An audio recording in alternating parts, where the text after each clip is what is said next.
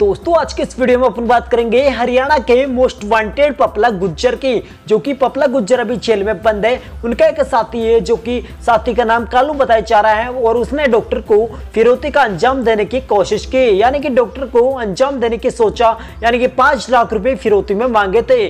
Doctor ने उनको मना कर दिया, और बावजूद एफ़ दर्ज कराने के बाद पता चला कि ये पपला गुज्जर का साथी है। यानी कि पपला गुज्जर का मोस्ट वांटेड का नाम लेते हुए पपला गुज्जर को फंसाया जा रहा है और पपला गुज्जर का नाम लेके कहीं कुख्यात गैंगस्टर पपला गुज्जर के नाम से आतंक मचा रहे हैं। पपला गुज्जर को बताया जाता है कि वो एक अजमेर जेल में हाई सिक्योरिटी जेल में बंद थे, जो कि अभी तो उसको दूसरी जेल में डाल दिया गया है। बाकी ऐसे कई फर्जी मोस्ट वांटेड आ रहे हैं, जो कि दूसरे के नाम पे आतंक मचा रहे हैं और उनका आतंक देखा नहीं जा रहा है। दुनिया के अंदर कई मोस्ट वांटेड को पुलिस ने पकड़ लिया है और कई मोस्ट वांटेड को पुलिस ने इनकाउंटर में शूट कर दिया गया है। तो मोस्ट वांटेड की जानकारी चाहिए तो कमेंट बॉक्स में बता देना।